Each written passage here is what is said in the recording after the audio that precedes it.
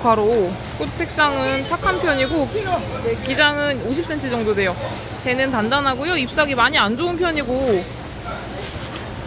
꽃도 벌레가 먹거나 한 부분들이 있어요.